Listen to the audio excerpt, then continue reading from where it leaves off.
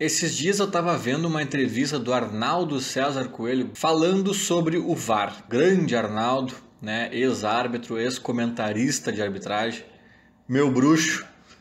Se o time que cai para a segunda divisão pode fazer corneta com o rival, Olha, eu não vou me meter nessa não, que é briga de colorado com gremista e eu tô fora. Mas a, regra, a regra é clara, A regra é clara, eu fiquei muito tempo, foi muito tempo xingado e não quero agora que eu tô tranquilo, fazendo minha ginásticazinha, me meter nesse negócio. Um abraço. Valeu, Arnaldo. Mas ele me disse em off que a regra é clara. Caiu pra segundona, não pode chorar. Eu vou precisar fazer uma defesa ao VAR aqui, já que o Arnaldo atacou tanto, né? Uma Vou ter que dar uma resposta ao Arnaldo, apesar de eu achar que o VAR está cometendo muitos erros, está atrapalhando a dinâmica dos jogos.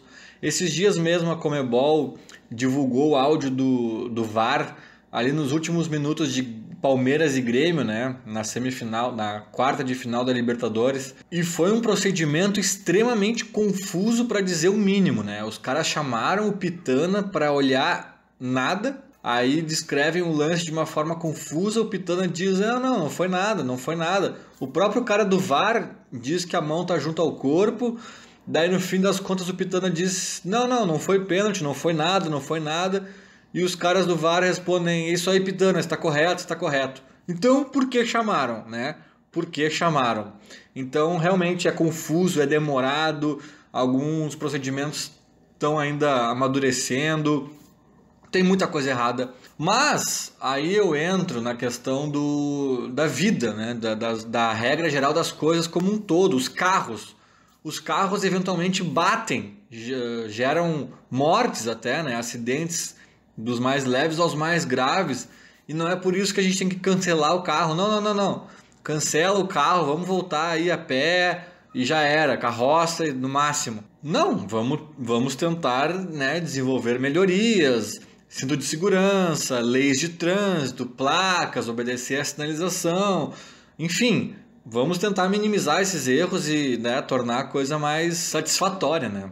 Mas aí o Arnaldo César Coelho, né, estava esses dias numa entrevista no Grande Círculo da Sport TV e lá pelas tantas a questão do VAR veio à tona e o Arnaldo muito resistente ali com a questão do VAR e achando que tá tirando. Isso é uma coisa que já, eu já começo a pensar, né? Eu vejo muita gente falando disso. Tá tirando a autoridade do árbitro em campo. E aí? Qual é a regra que, que diz no futebol que o árbitro precisa ter autoridade máxima? Tá, beleza, novos tempos, o árbitro vai perder autoridade, ok? Daqui a pouco o bandeirinha vai deixar de existir. Ah, mas daí o VAR vai eliminar o bandeirinha, alguém vai dizer. E eu vou dizer, e aí? Sabe? Se a gente soubesse se estava impedido ou não, numa fração de segundos com um sinalizador, uh, né, uma, um sinal luminoso ali, se tiver verde está legal, se tiver vermelho está impedido. Uma máquina fizer isso automaticamente na lateral do campo ali, tá ótimo. O futebol segue na sua essência. A arbitragem não é a essência do futebol, bandeirinha não é a essência do futebol, entende? Então não precisa, não precisa se apegar ao que sempre foi assim se foi assim por um motivo nobre, pela essência da coisa e tal, opa, não podemos afetar isso, mas não é o caso. E aí, lá pelas tantas, né, nesses argumentos que as pessoas estavam deixando claro que, pô, Arnaldo, mas olha só, cara, tá corrigindo mais erros do que, do que tornando algo errado ou, né, continuando errado um lance revisto pelo VAR. A maioria dos casos não, tá corrigindo um lance que seria erro. E aí, né, se sentindo meio pressionado, né, contra a parede, assim, o Arnaldo veio com esse argumento. Tudo bem, o árbitro errou um lance, mas cara, é do jogo, o atacante também não erra o gol. Cara a cara com o goleiro ele não chuta para fora? Cara, Arnaldo, não, Arnaldo. É, é esse o ponto central que me fez te responder especificamente uh, sobre esse trecho da entrevista. O, o erro do atacante faz parte do espetáculo, né? Assim como uma defesa, um drible, tá, tá na premissa do esporte tudo isso, sabe? O árbitro, ele tem que passar despercebido. Se a gente percebe que ele existe, tá errado. O atacante não, o atacante a gente tem que percebê-lo. A gente tem que percebê-lo pelo golaço, pelo erro, O erro também é um lance que vai marcar a história do jogo e nós vamos lembrar disso por anos. A defesa não, necessariamente é um gol, pelo contrário, evitou-se um gol, mas também não necessariamente é um demérito de alguém. Uma grande defesa também é um lance da história, né? um mérito do goleiro.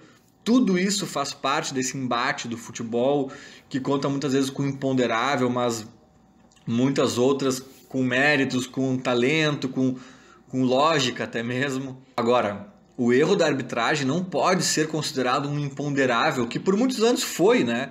Uma questão de sorte também, aquela sorte de, de bater na trave, aí trave, costas do goleiro e gol, ou trave, costas do goleiro e sai para fora.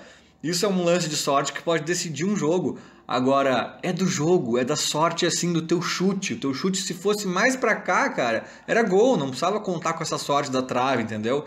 Agora, a sorte de tu contar com um árbitro amigo ou inimigo, ela quanto mais ela for eliminada, melhor pro esporte, cara. Melhor pro próprio árbitro, que eu acho que não vai ser extinta a categoria, né? Eu acho que no mínimo vai ter um cara aí no meio sem autoridade nenhuma que vai pelo menos conduzir o jogo nas, nas decisões mais simplórias, lateral, cobra aqui, não, aí dá os passos ali para ver a distância da barreira, sabe? Uh, ver se alguém tá brigando ali, tá, tá mais de perto para poder ver o que, que um disse pro outro, para sentir o calor do jogo. Acho que isso nunca vai ser substituído. Mas que bom se um dia o árbitro perder toda a sua autoridade, todo o, o piano de responsabilidade de decisões cair das costas dele. Os bandeirinhas, por exemplo, eu acho que estão extintos. Eu acho que a partir do momento que o VAR evoluir, é, é, uma, é uma profissão que não vai precisar mais existir. Né? Eu acho que quando for muito rápido essa, essa, esse entendimento se está impedido ou não, acabou bandeirinha, cara. Tchau, bandeirinha serve para uma era pré-VAR. Vamos colocar um olho humano aqui porque realmente é difícil para o árbitro ver se está impedido ou não está. Hoje em dia tem milhares de olhos mecânicos, não precisa mais de olho humano que é falível, que é limitado. A gente pode ver por vários ângulos, em várias velocidades, em 3D, a gente pode fazer cruzamentos de tá impedido, não tá, acabou, acabou. Acabou a subjetividade, a sorte nesse aspecto. E digo mais, eu acho que no futuro o VAR pode interferir até em lances não capitais, porque esse negócio de lances capitais é muito relativo, né? Um escanteio, a bola bate no cara, vai para escanteio, vai para tiro de meta. Ah, não é um lance capital. Ah, não é capital, era para ser tiro de meta, o cara dá escanteio e sai gol. É capital, entendeu? Então tudo pode ser um lance capital no fim das contas. Então é o seguinte, o, o árbitro tá ali, como um mero pau mandado do, de uma equipe de VAR, e essa sim pode ser uma equipe qualificada de árbitros experientes, estudados e tal, e o cara do campo pode ser um estagiário, tá entendendo? E aí o cara deu escanteio e o cara do VAR grita aqui, ó, automaticamente, a gente tá vendo pela TV e vê na hora, em dois segundos, o cara do VAR grita aqui, ó, não, não, amigo, é tiro de meta. Ele, não, não, não, tiro de meta, cancela.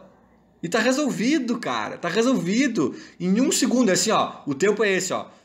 Escanteio, apitou. Os caras começam a correr, né?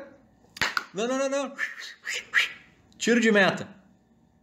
Sabe? O jogo vai ficar 100% eu acho que nunca, né? E também tem muito lance de interpretação e etc. Mas aqui ó, o lance vai ficar, o jogo vai ficar 99% justo. E digo mais, lances de interpretação que sempre vão existir, Talvez, por que, que, o, por que o árbitro do campo tem que ir lá no monitor olhar? Não vai precisar, na minha opinião. É o seguinte, bota o, o, árbitro experiente, o cara que é o árbitro mesmo, na cabine. Uma equipe, três árbitros na cabine. Na cabine. O do campo é um estagiário, mero condutor de lances corriqueiros e, e com o ponto aqui para entender o que está acontecendo. Quem sabe o que está acontecendo é são os caras da cabine sabe? Porque eles não interpretam lá direto. Pênalti, não pênalti, sabe? Mas daí o cara bom tem que estar na cabine. O Pitana tem que estar na cabine, não recebendo ordem de um pangaré lá que viu um pênalti uh, do Grêmio lá contra o Palmeiras, né? Que não existiu, não aconteceu nada. Tem que ser o contrário, o Pitana tem que estar na cabine e o estagiário, que tem fôlego, é novinho, vai correr, vai pro campo. Entendeu? Aí o Pitana diz assim, ó. Já vi, já interpretei, é pênalti. Ah, vai tirar a autoridade do árbitro. Azar, tá dando autoridade para outro árbitro, que tá com 20 monitores ali vendo em todos os ângulos e todas as velocidades. É simples, sabe? É, é, é se apegar muito ao passado, ao romantismo. Acabou, velho, acabou. Né? Uma nova era. É, que nem um dos, uma das pessoas desse grande círculo falou pro, pro Arnaldo: Arnaldo, os árbitros estão passando vergonha. Eles estão marcando coisas que todo mundo em casa, milhões de pessoas estão vendo que não foi.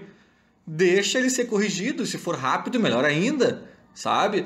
Daí o próprio PC lá, que é ex-árbitro, comentarista hoje, disse: É, no início eu também estava meio, meio contra, meio reticente, mas realmente, às vezes encerra uma carreira de um árbitro prematuramente ou uh, tira ele de finais, de, de fases importantes por causa de um erro crasso esse erro crasso pode ser corrigido em 5 segundos ali. Então vai, vai até preservar o próprio árbitro, sabe? Então eu acho que não tem sentido essa relutância. Eu acho que tem muitos erros, mas uma coisa não anula a outra. As pessoas às vezes são muito extremistas, a coisa fica muito polarizada, sabe? Ah, não gosto, cancela, acaba. Gosto é tudo bom, não tem nada de errado. Não, não é nenhuma coisa nem outra. Gosto, acho válido, acho importante, mas tem um monte de coisa errada e vamos melhorar. Acho que é por aí. Valeu, Arnaldão. Tamo junto. Até a próxima. Abraço.